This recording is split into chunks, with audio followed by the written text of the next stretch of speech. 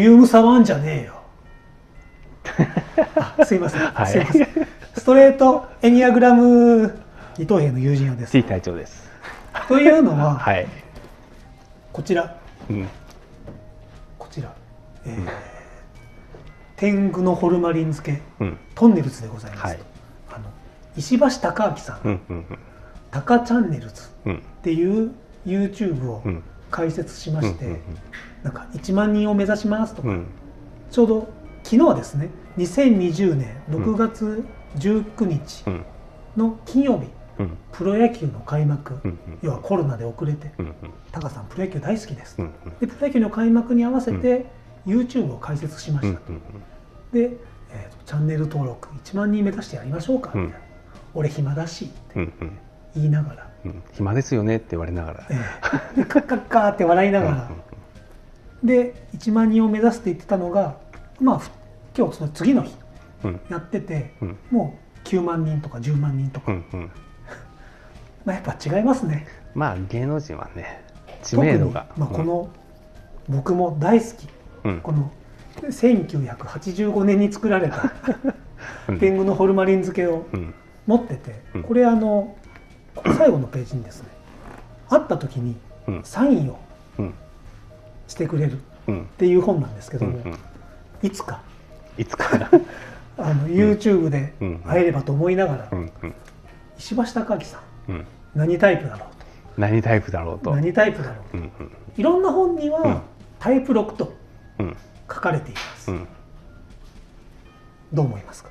僕は8かなみたいな。るほど、な、うん、やっぱりそのボス的な感じ。ボス的などっしり感がオラオラ感。オラオラ感なるほど。がある。まあそんなに詳しくないみたいなところはありますけどね僕が、えでも、えー、と同世代、うん同世代。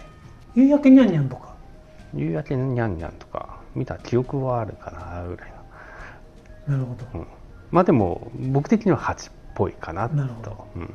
じゃあ私ちょっと喋っていいですか、うん。このトンネルズ愛が溢れ出している、うんうん。あちなみにこの初めの「ボリューム触んじゃねえよは」うんトンネルズのファーストアルバムうん「仏滅育ち」のうん。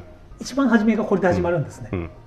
ボリューム触んじゃねえよすいません。それを今 オマージュで 入れて。入れて入れてみました、ちなみにあの「なります」っていうアルバムだと、うん。ダビングすんじゃねえよでうん。始まるんです、うん。ちょっと時代が出てますよ。うん。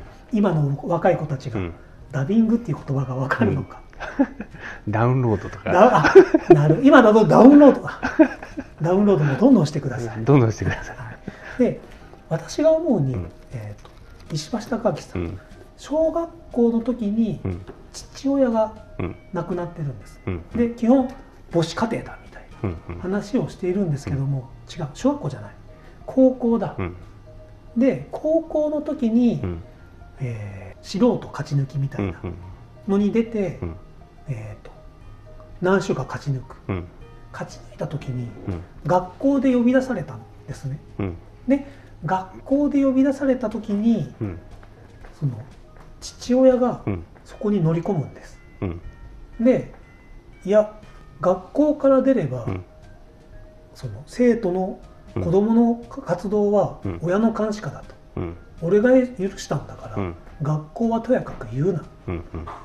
ていうことをうん。父親が言った。っうん。ていうことを結構この本の中でうん。その語ってら語ってるんです。うん。でそのそんなエピソードが歌にも出てくる。うん。そういう昔の「うん。なります」とか「仏滅育ち」とかうん。っていうアルバムを聴くと、うん。そういう歌もあるんです。ようん。父親に対して。で結構その父親に対してうん。肯定的にうん結びついている。っうん。ていうのと、うん。あのコンサートのうん「守る人。うんうん」で行ったことあるんです。うんその時にうん。のりさんうん。挨拶しました。うん。タカさんにも挨拶しました。うん。のりさんは「どうもどうも」みたいな感じ、うん。七っぽいですね。でタカさん。うん「あどうもありがとうございます」と。うん。あの今日はうん皆さんよろしくお願いします」みたいな。うん。とても礼儀正しい。っうん。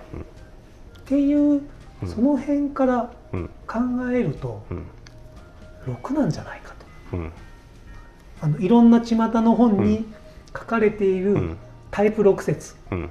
石橋貴明タイプ6節、うん。あ僕同じ6だ。タイプ6の星だ。うん。なんてうん。思っています。うんただ確かに、うん。その蜂的な感じ。蜂的なあのテレビで見る姿は蜂っぽいですよね。感じしますよね、うん。その野猿やってる時も、うん。やたらそのうん。周りがうん。ちょっとビクビクした感じなんですよ、うんうん高さに対して、うんうんでそのある人がうん。ポチった時にうん。バスの中に謝りに行くんですよ。うんうん。怖い。その姿とかが。あピリピリしてるんです、あうんうんうん。そう。でのりさんも、うん。まあ、そういう時は何も言わない感じ。うんうん。同級生なのに、うんうん。まあ7ですからね。うん。でまあ事務所の社長副社長っていうのがあったのかもしれないんですけども、うんうんその辺を見るとやっぱりうん。ボスっぽい感じはするじゃないですか。します。うん。します確かに。うん。確かにのりさうんん。は僕あのあのネルトン・ベニクジラ団うんうん。今の若い子たちはうん。えなんかのホテルのパーティーって思うかもしれないんですけども、うん昔はそういううんうん。トンネルズがやってたネルトン・ベニクジラ団にうん。うん出演しましたと、うんうん。経験者です、ネルトンパーティー。ネルトンパーティーじゃなくパーまあ、パーティーも行ったことありますけども、うん。ネルトン・ベニクジラ団にも出ました、名古屋大会、うん。最後の名古屋大会に出たものとして、うんうんのりさんはやっぱりその時にものりさんおのりさんまたと思って、うん。かっこいいですね。あの声をかけるなって言われるんですね。うんとトンネルズに。トンネルズに声をかけるなと、うん。うん。事前に注意されるんですけども、うん。かけちゃったつい。う んその時も、うんそんなことねえよって。あ笑顔で。やっぱ7っぽい。7っぽい。その時にうん。あのタカさんには会えず、ん。うん。確認はできなかったんですけども、うん。そのコンサートの時の振る舞いとかうん。すごい礼儀正しい感じ、あとはその今でもそのタカチャンネルズで、うん。帝京高校野球部出身者うん。を見守るうん。温かい眼差し、うん。この辺を見ると、うん。6なのかな。仲間を大事。まあ8もじゃないですか。あそっか。確かに。うん。うちの親父8ではい。鹿児島実業なんですよね。あ野球の名タイプ門あの。8でしかも鹿児島。鹿児島。鹿児島の九州男児なんですね。九州男児。きついなそれ。で鹿児島実業でなるほど。こう甲子園とか。はい。あ鹿児島実業ってスポーツ強いじゃないですか。もうサッカーでめちゃめちゃ有名ですよ。はい。でそういうのはこう必ず見るみたいな。甲子園とか行くとか選手を送り迎えするとか。笑っちゃダメだけど。そう。なるほどその親父さんのもとで野球やってたんですね、そうそうそうそう。それは大変スだパルタ。それはそれは鉄拳だ。そう。なるほど。昔の人ですからね。そうですよね、やっぱその面影うん。タカさんの石橋貴樹さんの中にも、うん。ちょっと似た匂いはある。にまあなんか雰囲気が8っぽい、なるほど、うん、その実際タカチャンネルズうんうん新しく見てどうですか、でもなんか今優しい雰囲気。優しい雰囲気だけど、まあ、8の人が優しいとああいう感じかなみたいな感じも。そうか今やす僕は8は厳しい。厳しい。星野先一さんもそうですよね。そうそうそうそう。確かうちの親父もそうやって厳しいけどずっと厳しいわけでもない。じゃないですか。もちろん。僕その殴られエピソードしか聞かないので。そうそういうのが印象に残ってるから、まあ、そういうエピソード話しますけど、はい。ずっと常にそういうわけでもなくってこう、なのでこう結構いろんなところに遊びに連れてってくれたりすることも多いんですよ。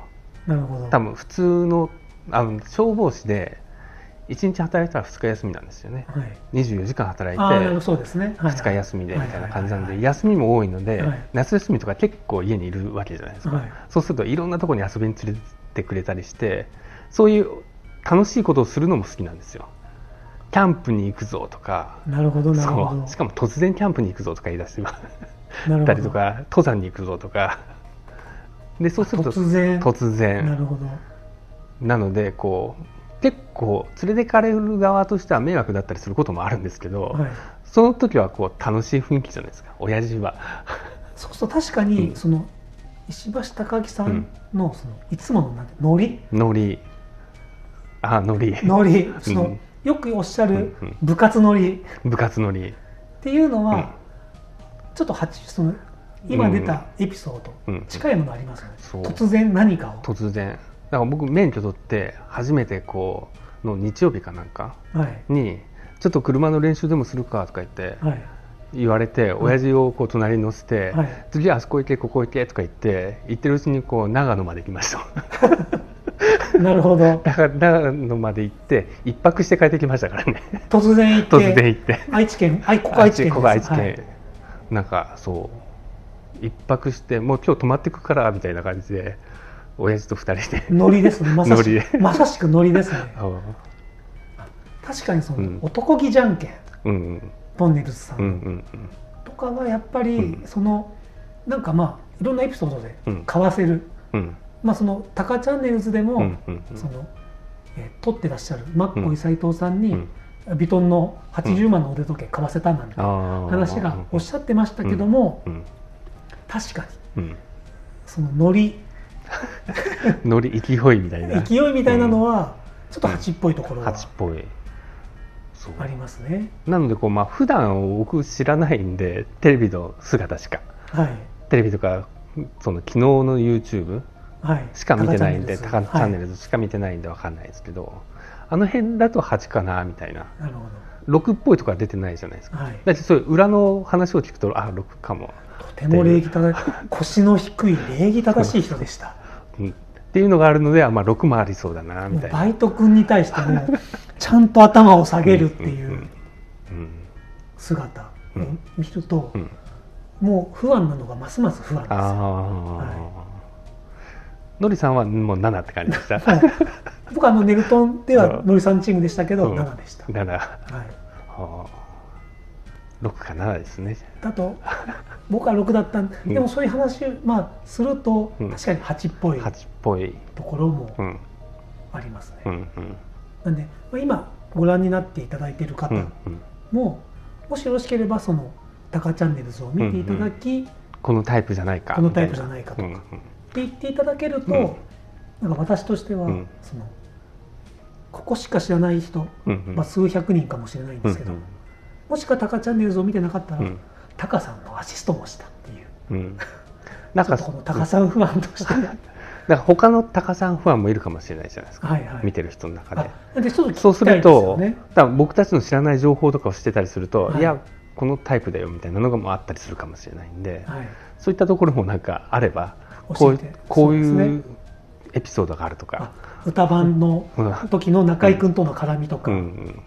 っていうなんかもう知らない情報とかもあれば。歌番とかでもうん。8っぽいところはありますよね、このオラオラオラ感。オラオラ感。はい、なんかどっしりした感ありますよね。ありますよねうん。確かに、という感じです。まあ僕が8かなって思うのはそのそんなに裏を知らない。はいはい、テレビに出てる表面的なところだけでいくと8かなみたいな感じですね。という。はい。M8 チェック。それは何？ネルトン？ねタカさんチェックやってたじゃないですか。もう記憶にないです。マジですか？記憶にないですよ。タカさんチェックって覚えてない、覚えてない。あ思い出しました、もうこのタカさん愛あふれるうん、二等兵でございました、はい、うん、ありがとうございます。ありがとうございます。チャンネル登録もよろしくお願いします。す。ありがとうござありがいました。とうございます